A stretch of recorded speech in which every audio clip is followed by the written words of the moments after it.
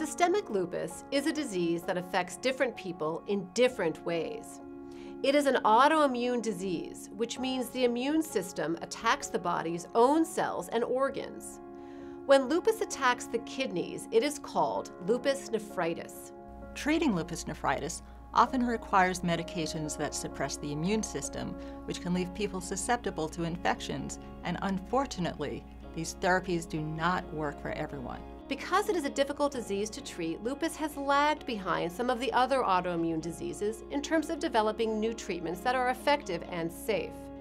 In fact, virtually all of the drugs we have to treat lupus have been borrowed from other diseases. But we've spent decades studying lupus, and we've learned a huge amount about how it affects the cells and organs in the body.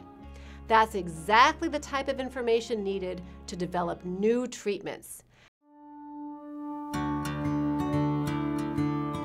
2011, we saw the approval of the first new drug for treating lupus in over 50 years. It's called belimumab or Benlysta. Most of the drugs used to treat lupus reduce inflammation in a very general way. They affect all parts of the immune system, not just the parts involved in lupus. Belimumab is more specific. It affects one particular type of cells called B cells. And we know from our research that these cells are very important in lupus nephritis. Targeting B cells in lupus nephritis isn't a new idea, and other clinical trials have tested drugs that kill B cells. This seems to help in many patients, but the B cells return, and as they do, there is a risk of relapse. We've noticed that when the B cells grow back soon after treatment, there's a greater chance of relapse. So in the Calibrate study, conducted by the Immune Tolerance Network, we're going to try something different. In Calibrate, we will first eliminate the B cells using two drugs called rituximab and cyclophosphamide, which are both approved for other autoimmune diseases. Then, we will try to stop B cells from returning too quickly by giving belimumab just when the B cells start to regrow.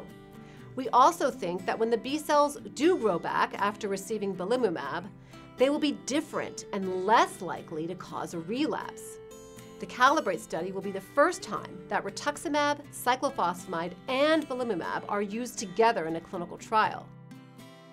The first step is to test this investigational combination of drugs in a small number of people with lupus nephritis while they're carefully monitored for side effects as well as changes in their disease.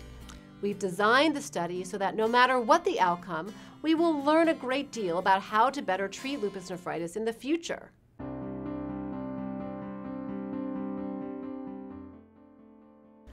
The Calibrate study is open to people 18 years or older with active lupus nephritis whose disease has returned or who have not improved enough after standard treatment with Cytoxan or Cellcept. Half of the people in this study will receive rituximab and cyclophosphamide, and the other half will receive rituximab, cyclophosphamide, and belimumab.